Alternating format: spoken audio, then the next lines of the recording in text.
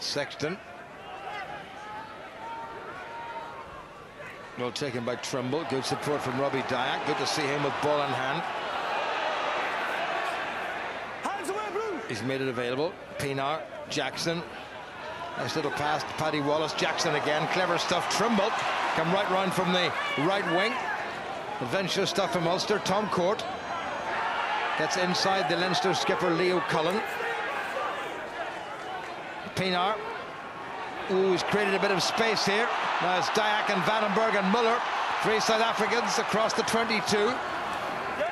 Well, there's a fourth. Pienaar. Paddy Wallace. Lewis Stevenson. He's had a good second half of the season. He's got lots of game time in the Ulster second row. Paddy Jackson. Trimble. Still going. Play on, says the referee. Leinster maybe just objecting to a bit of blocking. Here's Pienaar.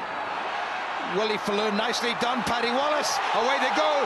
Johann Muller looking for his first Ulster try. Has he got across the line? The referee's going to have a look.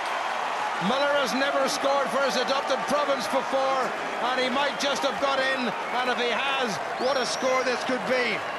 With limited possession, they've done very well.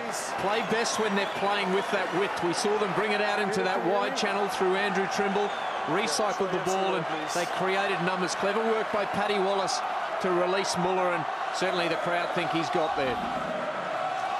Well, Muller went straight at Rob Kearney and then he rolled and I think he's got that down. It just came out of his grasp, but I think the initial grounding was just about right. Touch and go. Now, was that across the line? Was he in control? Johnny, I'm just having a look here. Just bear with me. Peter Ferguson, the uh, TMO, is going to have a really good look, and he's telling John Lacey, he may well have heard him say, Johnny, I'm going to have a bit of a look there.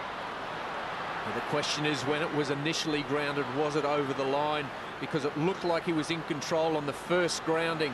It's whether that's made it across the line on that occasion or it's just slipped loose afterwards. Tough call to come. Ooh, gosh. Gosh, gosh, gosh. He released but was it over the line? And that's the that's that's the crucial question that Peter Ferguson has to be not just asking but answering.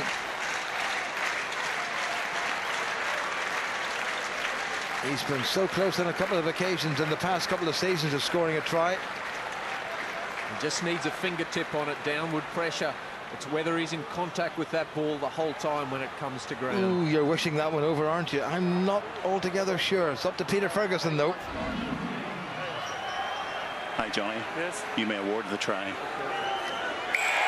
try has been awarded, and Ulster are back in this game. So having watched Ruan Pienaar miss for the penalty, albeit narrowly, Johann Muller has scored his very first Ulster try, and what a time to do it.